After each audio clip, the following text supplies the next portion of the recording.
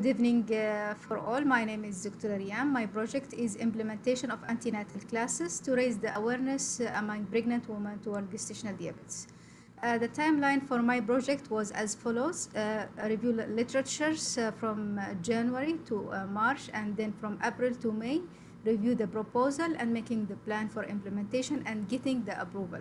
After that, I prepared the educational material and perform workshop for health workers and create the team which include health workers, nurses, educators and nutritionists.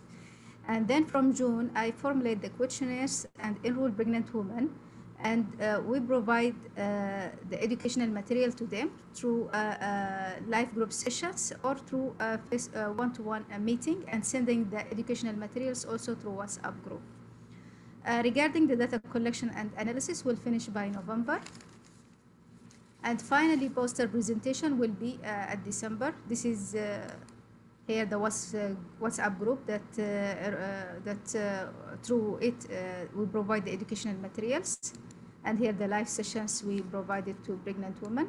The lesson uh, learned from uh, this project is the project management skills uh, that uh, in- that uh, uh, including a systematic approach that let us transform our idea to reality and also we learn how to map our stakeholders and to benefit from interest and influence grid and also we learned uh, the importance of team workers and lead- leaderships and how to manage the conflicts that appear during the implementation of the projects. The chess uh, in the project uh, was uh, the title from the beginning. I started by just only awareness program uh, to raise the to raise the awareness toward, toward gestational diabetes, but uh, I, found it it is um, really uh, it is reflect the outcome uh, rather than the projects. So I changed it to implementation of antenatal classes to raise the awareness, and also I changed the uh, target group. Uh, at the beginning, it was uh,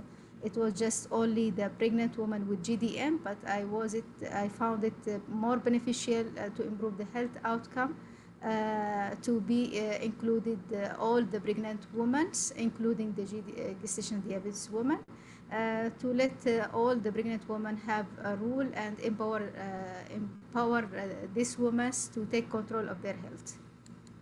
Thank you.